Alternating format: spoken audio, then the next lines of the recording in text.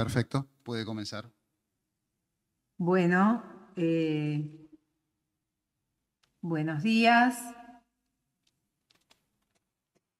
Mi nombre es Rosa Aboy, como usted dijo, soy arquitecta y vengo a esta audiencia en representación del Instituto Ciudad Políticas Públicas para Buenos Aires, asociación civil de la que soy vicepresidenta y responsable del área de políticas urbanas y ambiente. El proyecto en discusión es una propuesta normativa orientada a regular la capacidad constructiva de las parcelas, no un código urbanístico.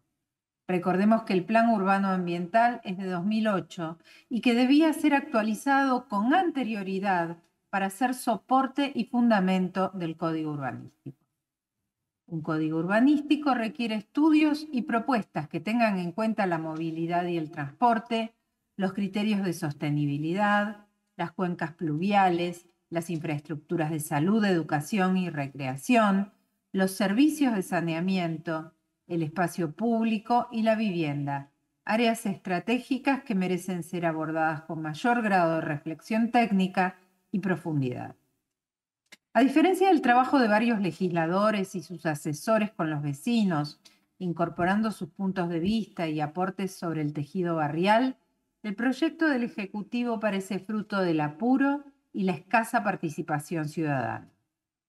Desde el Instituto Ciudad queremos aportar a la construcción de Buenos Aires como un bien común, en la cual el Estado, la ciudadanía y el mercado son actores necesarios.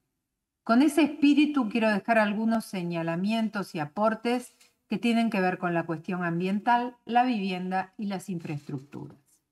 Punto 1 la cuestión ambiental. La ciudad tiene pendiente la elaboración de un código ambiental, si bien existe un corpus de leyes vigentes que frecuentemente se incumple. La ley de primera lectura autoriza usos de vivienda y hoteles en una zona del autódromo donde se habilita la construcción de torres de 20 pisos en una zona de inundación, es decir, de riesgo hídrico, sin mencionar ni prever obras de infraestructura y saneamiento necesarias. Pedimos especialmente por la preservación de las reservas de tierra verde y pública para uso y disfrute de los vecinos de la Comuna 8. Por otro lado, debido en buena medida a la iniciativa popular que juntó más de 50.000 firmas y que impulsamos desde el colectivo de arquitectas, ya no se propone construir vivienda en Costa Salguero y Punta Carrasco pero se habilita ahora la permanencia de construcciones existentes y de enormes superficies impermeabilizadas para estacionamiento, muchas de ellas invadiendo el camino de Sirga a la vera del río. Proponemos que las construcciones precarias que invaden la Sirga sean removidas y que se recupere toda la superficie absorbente y verde que está debajo del cemento de los estacionamientos, en lugar de favorecer la existencia de una isla de calor en la costa del Río de la Plata. Solicitamos en relación con este tema que Costa Salguero y Punta Carrasco vuelvan a ser urbanización parque. Punto 2. Respecto de la vivienda.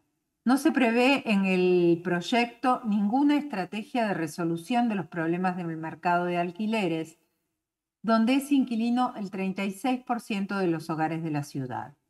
Esto va a contramano de la tendencia imperante en ciudades europeas y americanas, en las cuales la normativa urbanística promueve edificios nuevos o rehabilitados pensados para inquilinos, con criterios de eficiencia energética y un 20% de alquiler accesible, inclusive orientado a colectivos específicos como estudiantes, jóvenes o adultos mayores.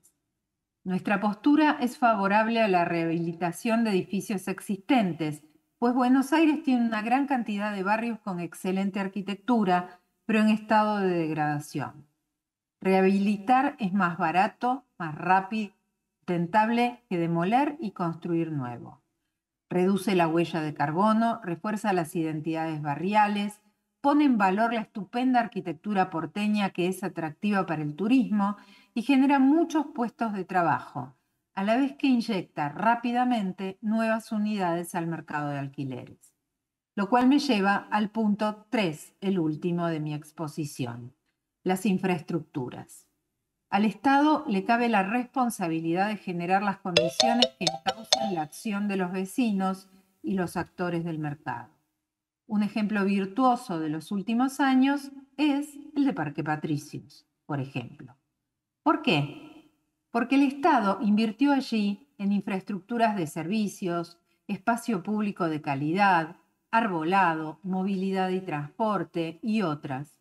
La extensión del subTH fue le pido, le pido por favor que vaya redondeando. Le pido por estoy, favor. Estoy en el final. Por favor.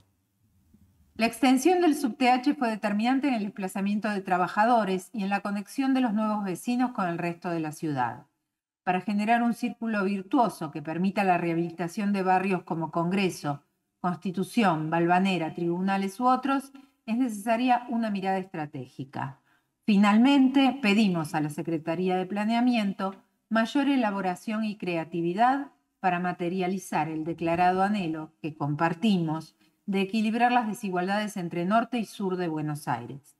Desde la creación del Instituto Ciudad en 2016, vemos profundizarse las diferencias entre las comunas del norte y del sur, año a año, en los indicadores que elaboramos a partir de la información de acceso público que provee el gobierno de la ciudad de Buenos Aires. Muchas gracias. Muchas gracias.